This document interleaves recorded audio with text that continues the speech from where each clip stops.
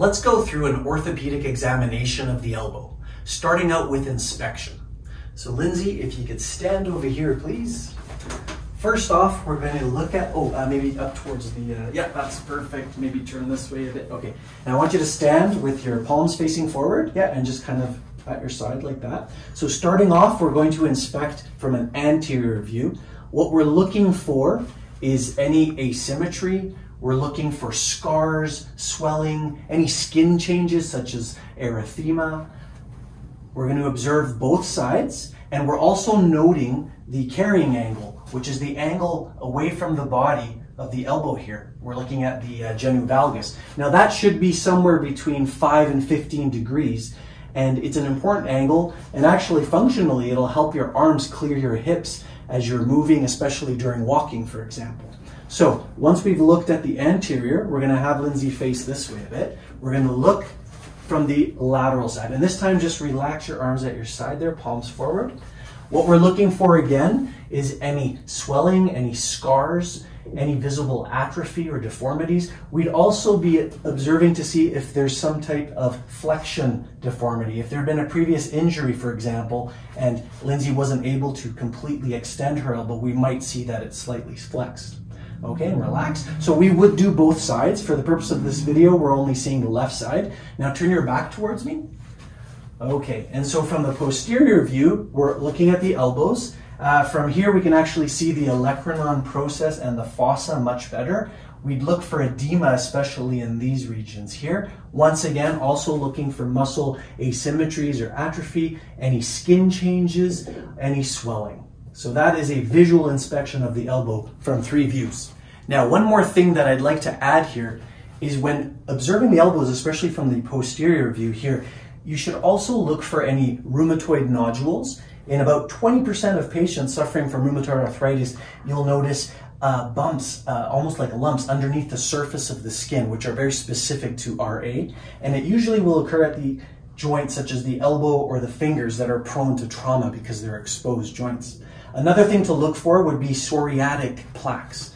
Now, psoriasis is something that uh, medically, if you look at studies, it could be an indication of serious underlying diseases such as cardiovascular disease, cancer, syndrome X, autoimmune conditions, uh, even obesity. So, something to really pay attention to are those changes when looking at the elbows. Now that we've completed inspection, we're moving on to palpation. So, first off, we're going to check temperature of both sides using the backs of our hands.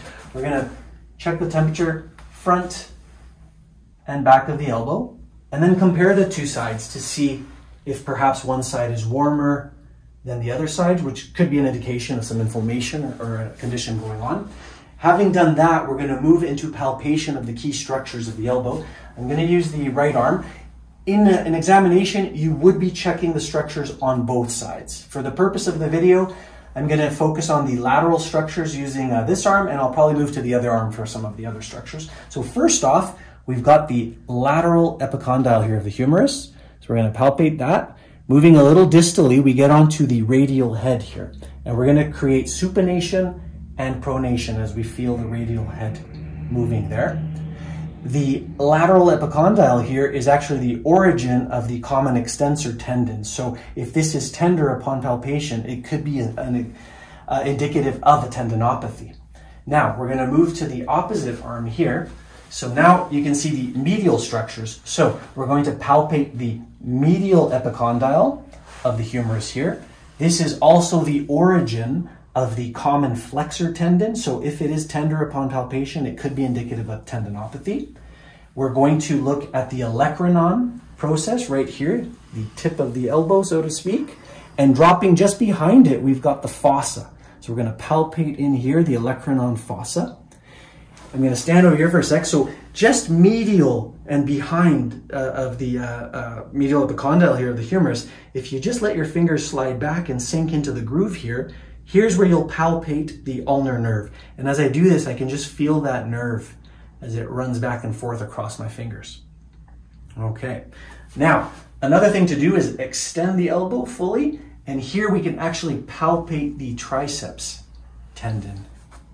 So you can feel that and just kind of follow it up into the muscle bulk here. Okay, and then in order to palpate the biceps, the distal biceps tendon, it's best to have that elbow flexed to almost 90 degrees. You can see it pop out right here on Lindsay. So you want to get in there and, and palpate that distal biceps tendon. And a great way to test this is to uh, do it during forced or resisted supination. So I'm going to hold your hand here, Lindsay. And what I want you to do is try to bring your palm up this way, but I'm going to resist that motion, okay? Yeah, so there she goes. You can just see it right here as it pops up. And you can palpate it in its length from side to side. There we go, good. Okay, so that is a basic palpation of the elbow joint. Now, to test active range of motion, it's best to observe both sides at the same time. That way you can see if there's any asymmetries or limitations due to past injury or perhaps an arthritic condition. So starting out, we're gonna have the patient uh, stand facing you. And I want you to bring both arms out to your side, uh, Lindsay, palms facing up and arms straight. Now, bend the elbows, uh, bringing the hands to your shoulders as far as you can. And as we can see, uh, Lindsay's got full range of motion. A normal range of flexion would be about 145 degrees of elbow flexion. Now, straighten both arms at the elbow, Perfect. So here it's great to observe both sides. If there had been an injury, for example, on the right side, perhaps uh, the arm wouldn't come down as far, or it could be hypermobile and actually extend past the normal range. So a normal extension range in the elbow should be about zero degrees. Now bring your arms to your sides, okay? I want you to uh, bend the elbows to 90 degrees, palms up. Okay, so what we're gonna do first is pronation. And that should be about from zero all the way to 85 degrees is what we want to see here. So let's see, pronate both sides. Perfect. And now from this position, we're going to go the opposite way, palms up at the end, and that would be supination, which should be around 90 degrees. Okay, and go. Perfect.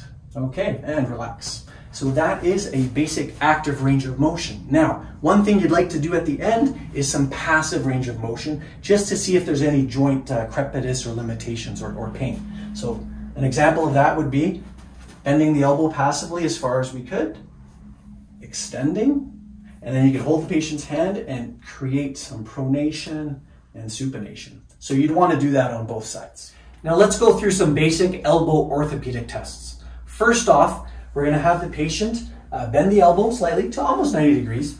And what I want you to do on this one, Lindsay, is you're going to make just a, a fist you're going to move your wrist into flexion. So can you do that for me? Perfect. Okay. Now go back to neutral here. As you do that, you're going to find resistance, and that's going to be my hand basically stopping you from doing that. Okay. So I'm going to palpate at the medial aspect of the elbow here at the same time and stabilize it. Okay. So now flex the wrist. So as I'm resisting this flexion, if there were pain along the medial aspect of the elbow, that would be an indication that there could be a common flexor tendinopathy. Now, in order to test the lateral aspect of the elbow, specifically to see if there's a common extensor tendon tendinopathy, we're going to have the patient bend the elbow to roughly 90 degrees, pronate slightly. I want you to make a fist, keeping this nice and neutral. Now, can you extend your wrist? So bringing it back, perfect. Okay, so now come back to neutral. Now, same idea. I'm going to resist while you actively extend the wrist, okay? So extend. At the same time, I'm stabilizing the elbow and palpating along the lateral aspect. If it were tendon along here where the origin of the common extensor tendon is, we could suspect a tendinopathy. In order to test the collateral ligaments of the elbow, you want to perform a valgus and varus stress test on those ligaments. So having the patient in front of you, slight bend in the elbow. Uh, I like to stabilize their arm against the side here with my arm and supporting the elbow here. So in order to create stress along the medial collateral ligaments, we're going to push the elbow that way, which would be a valgus stress. So I'm going to use my hands here to create that stress and then, you know, interact with the patient, make sure if they're hurting, they, they let you know. Then coming back to neutral, I'm going to go the opposite way. So now pushing with this hand, and that's going to create a varus stress on the uh, opposite collateral ligaments here. So we're going to go that way on the lateral side of the elbow. Good. Okay, so that is creating a valgus and varus stress on the medial and lateral collateral, uh, collateral ligaments of the elbow. So if there's a sprain or some type of situation, you'll be able to examine it thoroughly. So that concludes our orthopedic examination of the elbow. Now, in order to complete this exam thoroughly, we would combine it with an upper extremity neurological examination. And you also have to take patient history into account. A lot of people who have elbow problems may also have shoulder or wrist problems. So those are an examination that you'd want to do in conjunction with the elbow if deemed appropriate. If you'd like to check out those videos, please see our examination playlist and thank you for watching.